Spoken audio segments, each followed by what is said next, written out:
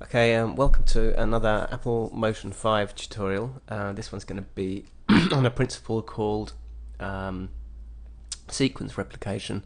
Uh, it's not going to be as long as uh, my previous one because I just want to demonstrate one single principle and I'm going to make a, a, simple demo of, of a line of trees growing. Right, first I'm going to go to my library and I'm going to select content and I'm going to search for tree. Now there's a piece of vector art called winter tree. Now you notice in the uh, preview window there it's not showing anything. There's a bug in motion and for some reason on some types of artwork it won't show you a preview. Anyway, we're going to take this winter tree and drag it onto the project. Okay. I'm going to make a line of these trees uh, and have them grow out of the ground. So because there's going to be scaling involved, I want the scaling to happen from a sensible point. Now for a tree, sensible anchor point would be the base of the tree where it's hits the ground. Okay. So now, just to check that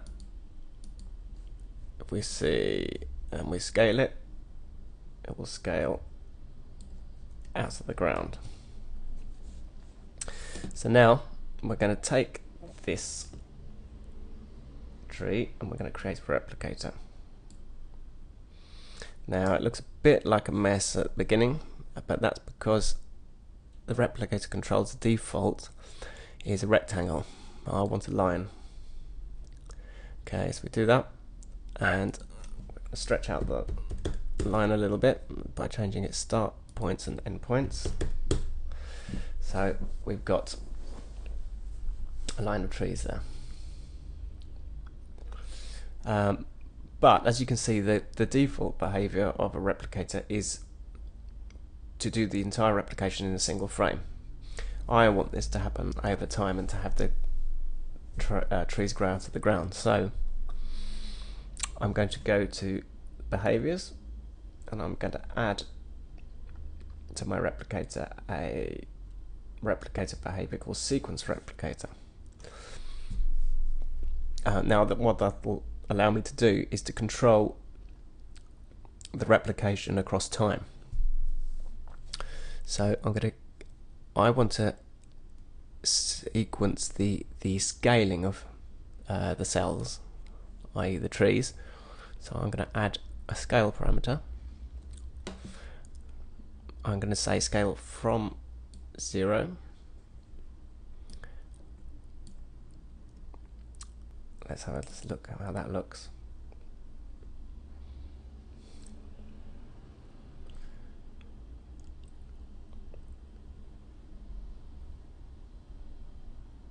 Okay. So not quite how I want it. I, what, I, what I'm going to do is I'm going to have the spread spread across three, which means three will be growing at, at once. That looks a bit nicer. Okay. To um, just to make it look a little bit nicer, I'm going to go back to my winter tree. I'm going to add a bit of drop shadow to it. So the trees don't get so messed up with each other. Okay, so let's take a look at how it, um, see how it is at the moment. There we go. That's looking better, except um, I want the subsequent trees to grow behind. So we go back to our replicator go to the controls of the replicator and I want to put reverse stacking which means that each tree will come out behind the last rather than in front of it. I don't like the fact that they are all the same size. Just makes it seem a bit unnatural. So let's add a bit of randomness to it. And let's change the seed until we get one that oh yeah I like that. Okay. So let's see what it's like now.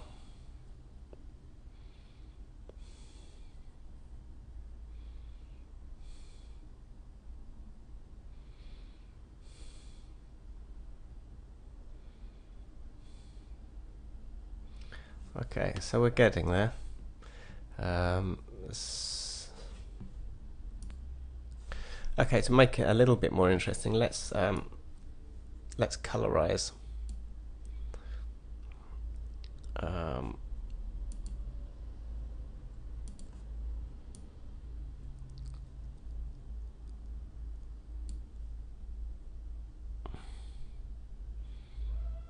okay, let's use over pattern and let's yeah, let's change the color scheme. Uh, okay.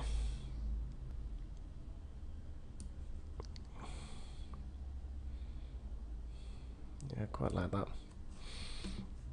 Let's add to the replicator a little bit of bloom. Okay, and let's change the threshold.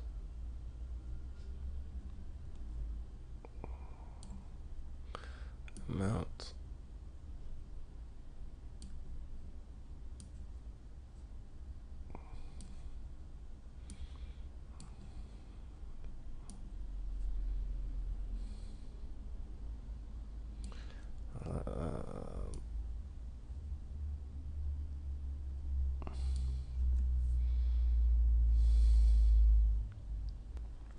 Okay, so let's see what this is like. Um,